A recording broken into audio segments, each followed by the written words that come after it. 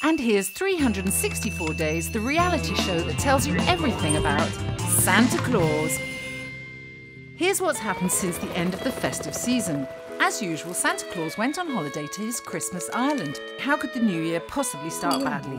Well, like this. It's the CEO of the elves calling from Lapland, Joe. And Joe's calling to point out that Santa's order for next Christmas is huge. The problem is that the elves, in order to meet the extra demand, need to expand their production capacity. Hmm. The elves will just have to start working right now, that's all. But Joe thinks the elves deserve to have a holiday too, so it looks like all the presents won't be ready for December the 25th.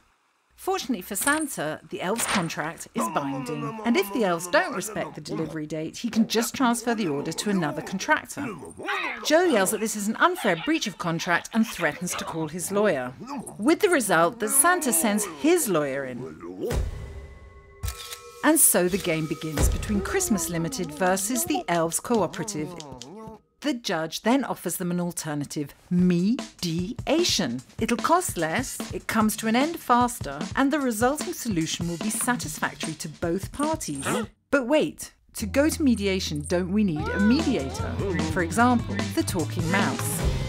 Well, now they only need a proper place where the mediation can take place. Oh, yes, and one of the advantages of mediation is confidentiality.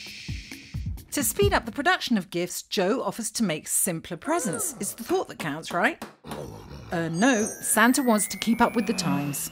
And so it's back to square one. Then the mouse decides she'll see them separately. Joe goes first. Then it's Santa's turn. The mouse invites him to share his real feelings. So what we have here is a late delivery, and it's a social suicide for Santa. Then back in plenary, the pressure decreases. And Santa discovers that what really matters to the elves is to be able to attend the Intergnome Winter Games. Good. Well, understanding is fine, but a solution would be even better. Like, Santa could lend his sleigh to the elves to help modernise their factory. Meanwhile, Santa could enjoy a spa treatment.